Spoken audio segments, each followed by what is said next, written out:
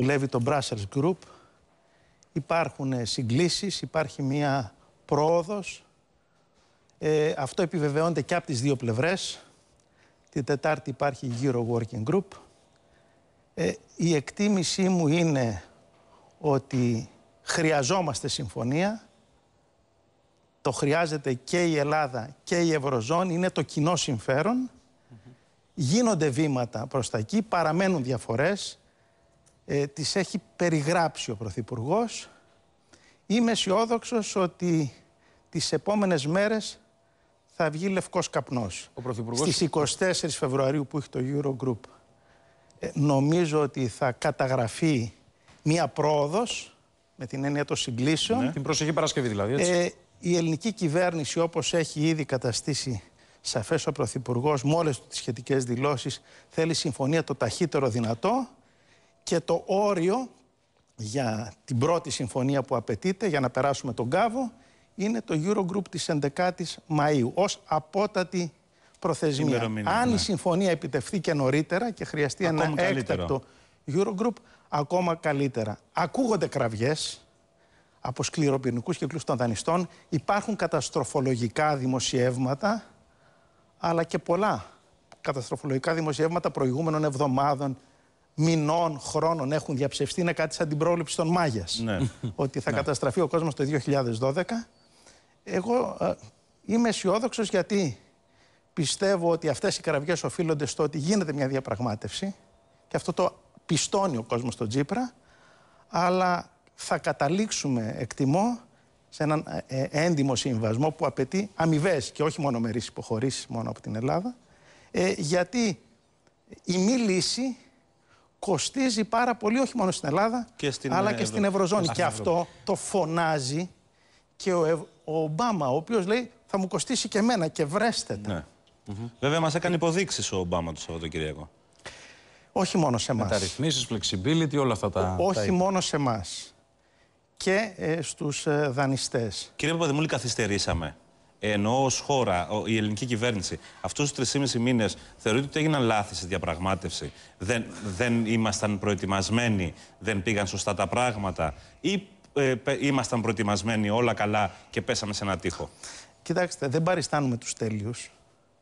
Ε, αλλά η μεγαλύτερη δυσκολία που είχαμε είναι να συνηθίσουν και οι δανειστές μας στην ιδέα ότι κάτι πρέπει να αλλάξει και ότι τελείωσε η εποχή που φέρναν κάτι έτοιμο και το υπέγραφε η ελληνική πλευρά. Πολλές φορές στα αγγλικά το έφερναν Ναι.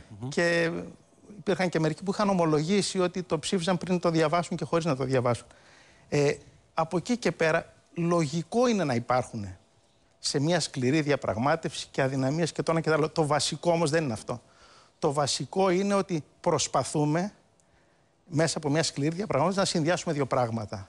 Όπως έχει πει επανειλημμένα ο Τσίπρας. Απ' τη μία, το σεβασμό στις υποχρεώσεις και τους κανόνες που διέπουν τη συμμετοχή μιας χώρας στην Ευρωζώνη με την ανάγκη κάποια πράγματα να αλλάξουν γιατί αυτό το χρειάζεται όχι μόνο η Ελλάδα αλλά η Ευρώπη.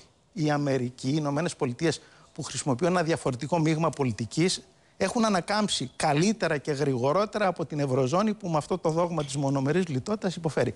Η Ελλάδα και ο ελληνικός λαός έχει υποφέρει παραπάνω από όλους ε, καταφέραμε να κάνουμε γνωστό το ελληνικό πρόβλημα με την έννοια της ανθρωπιστικής κρίσης, ανεργία, ύφεση και το χρέος παρόλα αυτά μεγάλωσε. Τώρα πρέπει να τρέξουμε για να πετύχουμε μια συμφωνία που θα εξασφαλίζει δύο πράγματα.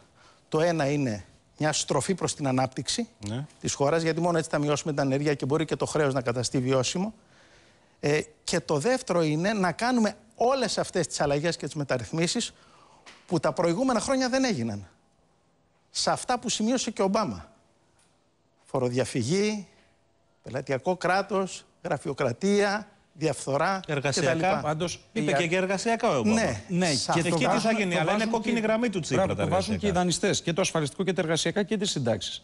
Αφήνω έξω την υπαναχώρηση στις ιδιωτικοποιήσεις. Άρα θα προχωρήσουμε και σε αυτά που αποτελούσαν κόκκινες γραμμές. Κοιτάξτε, σε αυτά γίνεται μια συζήτηση. Υπάρχουν οι διαφορές για να υπάρξει και σε αυτά σύγκληση και να συναντηθούν κάποιοι στα μισά της γέφυρας πρέπει να καταλάβουν και οι δανειστές μας ότι και αυτοί σε κάποια πράγματα πρέπει να βάλουν νερό στο κρασί τους. Δεν μπορείς να ζητάς συμφωνία ζητώντας μόνο από την Ελλάδα, που είναι η αδύνατη πλευρά του δανειζομένου, να κάνει μόνο αυτή η υποχωρήση. Συμβιβασμός και συμφωνία σημαίνει αμοιβές. Πάντως ζητάμε δανεικά, κύριε Παπαδημούλη. Έτσι. Για να το, να το καταστήσουμε σαφές. Γιατί θυμάμαι προεκλογικά τον κύριο Βαρουφάκη έλεγε ότι δεν θέλουμε καν τη δόση των 7,2 δισεκατομμυρίων. Κοιτάξτε, χρειαζόμαστε την δυνατότητα να μπορέσει η Ελλάδα να επιστρέψει στην ανάπτυξη για να μπορέσει να ξεπληρώσει και τα δανεικά της, τα οποία ουσιαστικά δόθηκαν τα τελευταία χρόνια για να ξεπληρώσουν προηγούμενα δάνεια. Ναι. Το 93, Πάλι το ίδιο κάνουμε. Το 93, ναι, πρέπει να αλλάξει όμως αυτό, γιατί αυτό είναι βαρέλι δίχως πάτο.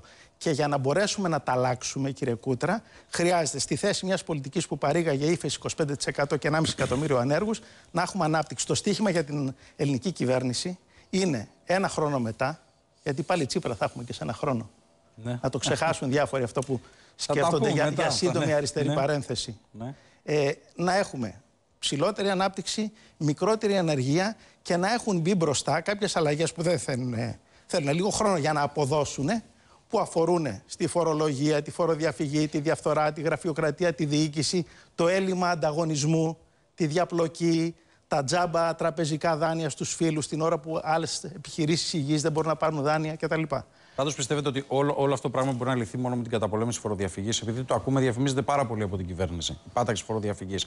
Και ε, το γνωρίζετε κι εσείς ότι τα τελευταία 30 χρόνια από τη μεταπολίτευση κάθε πρωθυπουργός έλεγε αυτό. Θα πατάξουμε τη φοροδιαφυγή. Όχι Άνευ μόνο. αποτελέσματος. Χρειάζεται. Από τη φοροδιαφυγή θα. θα βρούμε Χρειάζεται, όλα. χρειάζεται, είναι πολύ σημαντικό πράγμα η φορολογική δικαιοσύνη.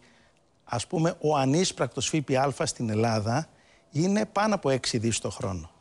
Αν βελτιώσουμε την εισπραξικο- εισπραξιμότητα του ΦΠΑ, μπορούμε να εξοικονομήσουμε πόρους. Αλλά δεν είναι μόνο αυτό, σωστά το λέτε. Μπορεί κανείς να περιορίσει και σπατάλες στις κρατικές δαπάνες. Μπορεί να αξιοποιήσει καλύτερα τα κοινοτικά κονδύλια, να πιάνουν πιο πολύ τόπο τα λεφτά, να μην απορροφώνται απλώς, να, προσ- να προσθέτουν αναπτυξιακό δυναμισμό. Μπορεί να σπάσει καρτέλ για να κατεβάσει τιμές.